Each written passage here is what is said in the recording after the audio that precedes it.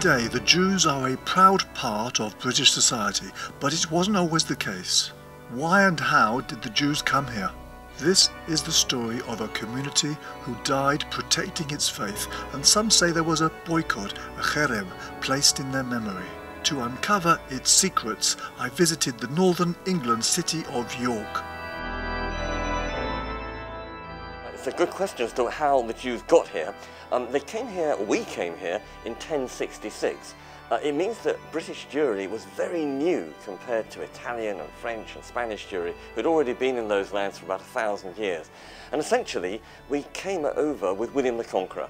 Uh, he came over from Normandy, he occupied this new land, England, and he wanted to bring over some people he could trust uh, civil servants to help colonize his new country. They went to York for two reasons. Firstly, because it was a major trading city. You think of England today and you think of London and Manchester. In the Middle Ages, you would have thought of London and York. That was the place to be. Plus, there was a strong royal presence. There was a royal castle. It meant the Jews had protection if ever there was trouble. We know that the Jewish community is established here in York in the 1170s. At that time, the city was a predominantly timber and thatch city. Now we know that the Norman house in Stonegate was built by the, the Minster authorities. However, it seems likely that at least some of the Jewish community in York lived perhaps in similar sorts of houses, these very strong, secure um, stone structures. They were described as, as palaces. However, there does appear to have been um, some areas where there were perhaps concentrations of, of Jewish uh, families living in, in particular streets. There is a street in York which is called Jubbergate. Now, Jubbergate is a corruption of Jew Bretgate. And what is interesting is that Jubbergate leads down to Coney Street. There was the location of the synagogue, the, the medieval scholar of the Jewish community. A Christian society had a big problem because Christians weren't allowed to be money lenders, um, uh, whereas there was no objection to Jews being money lenders, and therefore they naturally occupied this vacuum in society because everyone needs money, whether it's a farmer who needs a new wheelbarrow or a knight who's going on crusades who needs a new suit of armour. The Jews were seen as the sponges of society who then sort of uh, took money away from ordinary people and, uh, and gave it to the king. So there was a double dislike, and unfortunately dislike turned into tragedy. 1189, the king dies. Josce and Benedict of York visit London to bring generous gifts to the new monarch. Jews tried to gatecrash the coronation of Richard the Lionheart in Westminster because they wanted to gain the same rights they had had under previous kings, Henry II, for instance. In doing so, however, the mob and the gate people believed that the Jews could put a curse on the king if they came in and immediately, vigorously threw the Jews out and the beginning of a riot. The crowd sort of took offence. They sort of thought they were interlopers, pushing ahead of everybody else. And there was a minor scuffle. It turned into a riot and actually involved some Jewish deaths. The movement of the mob across England you actually took place over some six months. It was no coincidence that it was in March 1190, uh, which uh, it was Palm Sunday, which is when Christian passions against the Jews were even more hostile because the Christians were being taught about how the Jews killed God and actually of all the sins you can commit, you, you can't get worse than killing somebody's God and therefore there were sermons about how evil the Jews were and people went to church to hear that. They come out of church, see real live Jews and therefore inevitably feel antagonistic towards them.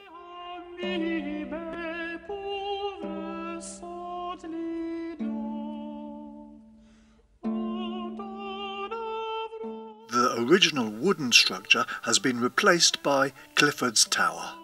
York Castle is built in 1067 by William the Conqueror. The first castle on the site here is built out of earth and timber. 1190 wooden keep would have had perhaps two or three wooden floors inside it. Um, it would have had a timber roof structure that would have had a lead covering on it.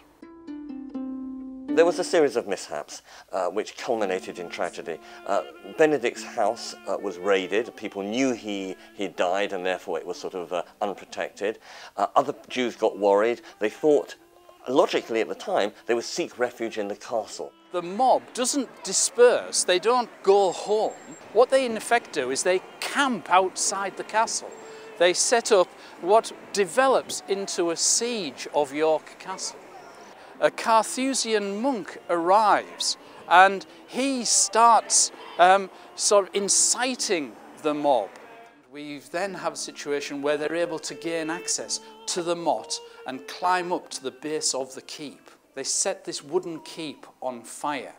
The fire quickly caught hold, and the, the Jews who had taken refuge, who were inside the keep, were faced with a dilemma. What do they do?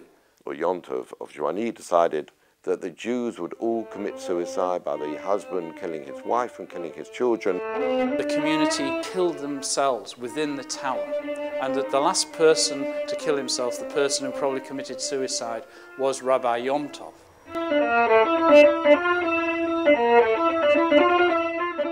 There is every likelihood that Masada, which was such a searing mark in Jewish history, was well known. And in fact, it's very significant that the Christian chronicler of the time, uh, William of Newburgh, actually says that one of the leaders of the uh, York Jews quoted Masada in his final speech advocating that they should commit mass suicide. There were some Jews, of course, who thought this was a step too far. They didn't commit suicide, um, and in the morning they sort of threw open the gates of the castle and said, look, um, we will adopt Christianity, uh, just spare our lives.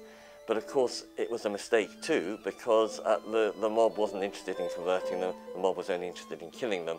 On top of that, there was a financial interest. A lot of the Crusaders wanted to clear up their debts before going off on crusade. And the best way to do that was to kill the person you owned money to. And it was no coincidence that a number of the leaders of the riot just so happened to be in debt to the Jews. And it was very significant that the first thing they did after the death of the Jews was to rush to the cathedral, not to beg for forgiveness, but to destroy the records of the debts that were owed. So there was a clear financial motive to the tragedy of York.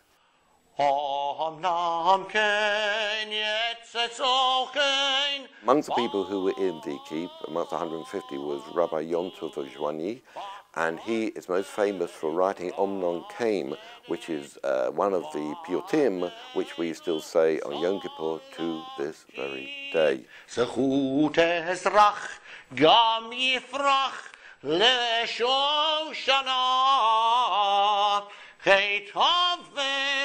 כל הגבר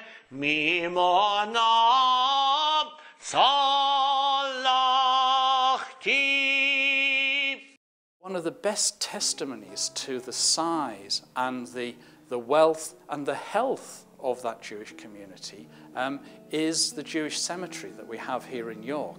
This cemetery is one of only 10 known medieval Jewish cemeteries in England. These graves are under a supermarket car park.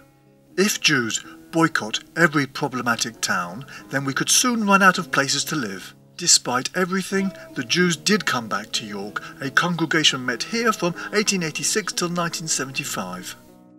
We used to go to a shul in Aldwark and it was just a room basically above a carpenter's shop very innocuous. It was almost like it was deliberately low key so nobody would know it was there. We had a curtain to divide the men from the women. Just plain benches, very, very simple. And which had visiting rabbis who came for the services.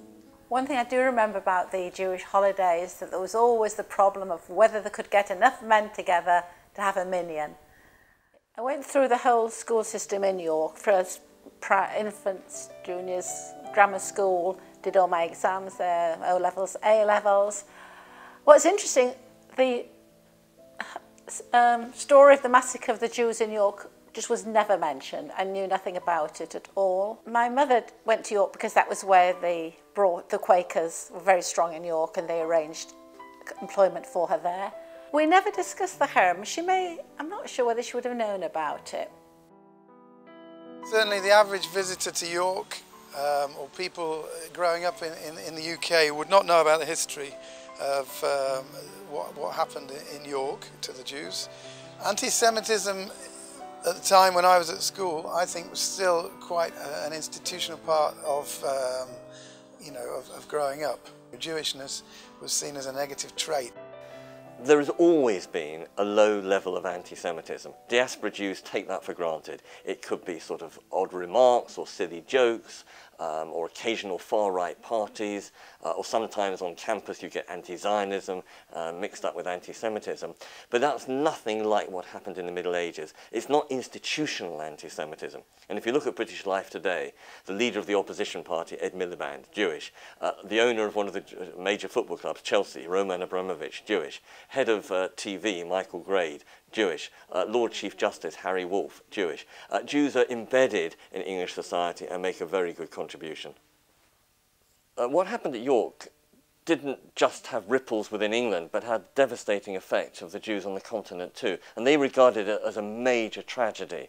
Uh, and uh, so much so that every year at Tisha B'Av, which is the memorial for the destruction of the temple, uh, and also, by the way, later on the memorial for the expulsion of the Jews from England, which was also on Tisha B'Av in 1290, but as part of the liturgy, a special piyut, a special medieval poem, was written lamenting the death of the Jews of, the York, of York and said, um, silenced are the inhabitants of the Isles, England, cut off in their delight and mourning them in the same way that the Jews of Masada were mourned. What does the average non-Jewish person uh, think when they see a plaque commemorating a Jewish tragedy of a thousand years ago? Very interestingly, when we were in Berlin last week, a group of 50 of us, one of the questions we asked as we were obsessed going from Holocaust Memorial to Holocaust Memorial, what does a non-Jew think when they're in Germany? do they notice all these memorials, all these plaques, all these museums? And then I ask myself the question, do we notice and do we concern ourselves with the massacres in Serbia or Central Africa in exactly the same way? And I fear that we don't. Therefore, for Jews, York may be something special. And for a non-Jewish person seeing that plaque, it's an interesting thing, but no more than that, really. Seems the Jewish boycott is just an urban legend. Certainly there is no synagogue today in York. An earlier example of the urban legend goes like this. The Jews were perceived to be killing Christian children and using their blood to make unleavened bread, matzot, for the festival of Passover. This is known as the blood libel. Absolute pack of lies but unfortunately and sadly it proved fatal for the Jews. On Friday, the 16th of March, 1190, the great Sabbath before Passover, the whole Jewish community of York met their death. Right here. Jews remained in this country for a further century. In the year 1290, after their usefulness to the crown had been exhausted, King Edward I expelled all Jews. He ordered them out of England. Maybe it was a strange twist of fate that just a few months later the defeated Crusaders finally left the Holy Land. This was a dark period in British history and yet another sad episode in the history of Judaism. Barry Levinson, York, England.